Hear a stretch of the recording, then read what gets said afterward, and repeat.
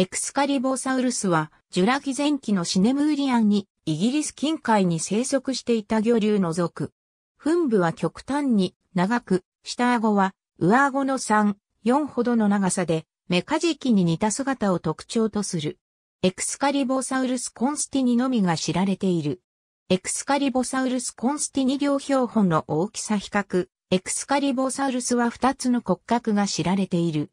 模式標本はサマセットの海岸の砂浜で1984年に発見され、頭骨、前肢、胸体の一部、複数の椎骨、肋骨から構成されている。1986年にマッコー湾が記載し、化石はブリストル市立博物館、美術館に所蔵されている。第二の標本は1996年に同地域から収集されたほぼ完全な骨格であり、ロイヤルオンタリオ博物館が購入した。2003年にマッコー湾が記載した。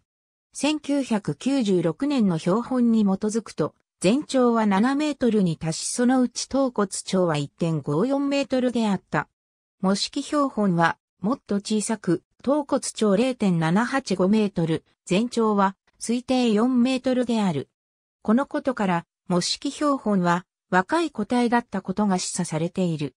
エクスカリボサウルスは、イギリスの三畳紀末レーティアンから、ジュラ紀初期、シネムーリアンに生息したイクチオサウルス及びレプトネクテス、ドイツのジュラ紀前期トアルシアンに生息したユーリノサウルスと近縁である。3属はユーリノサウルス亜目、レプトネクテス科に分類される。